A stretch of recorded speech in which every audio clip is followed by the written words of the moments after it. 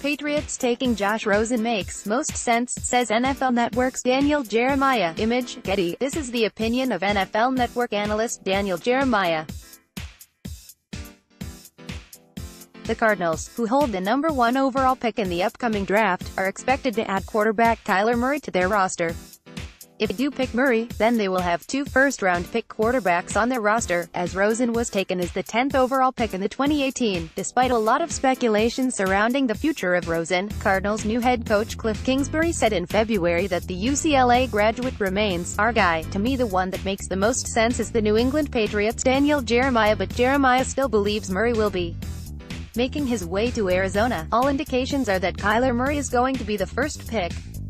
Jeremiah said, he is going to go to the Arizona Cardinals, which to me puts Josh Rosen on the market. Two teams in the NFC East are also considering making moves for Rosen, with the New York Giants looking for a backup to Eli Manning and the Washington Redskins looking to provide cover for the currently injuries Alex Smith.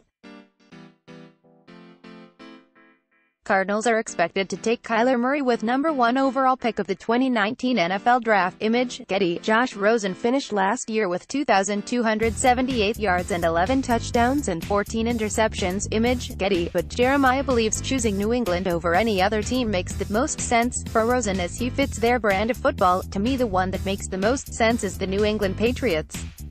Jeremiah added, because the things that the New England Patriots value, obviously you start with toughness, when I think of the Patriots organization and the players they assemble, they put a premium on toughness, intelligence would be second in line there and I think both those things, both those qualities, Josh Rosen possesses, and the third thing is that they are always trying to find a deal, they are always trying to find a way to get value and he is going to be a cheap backup quarterback there for Tom Brady. Jeremiah thinks the setup at the Arizona didn't give Josh Rosen a chance to be successful. Image, Getty, Rosen had a poor debut season in the NFL as he finished the year with 11 touchdowns, 14 interceptions as he threw for only 2,278 yards.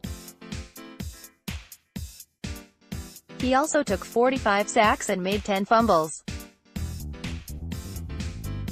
The Cardinals finished the season with the worst record in the NFL, 3-13, and finished the year on a four-game losing streak, but Jeremiah thinks the setup at the organization didn't give Rosen the chance to be successful.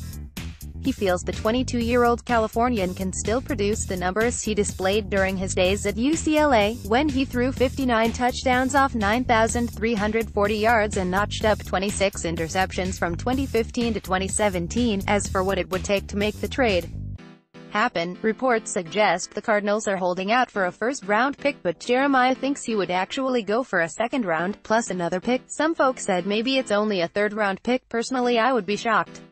Jeremiah said.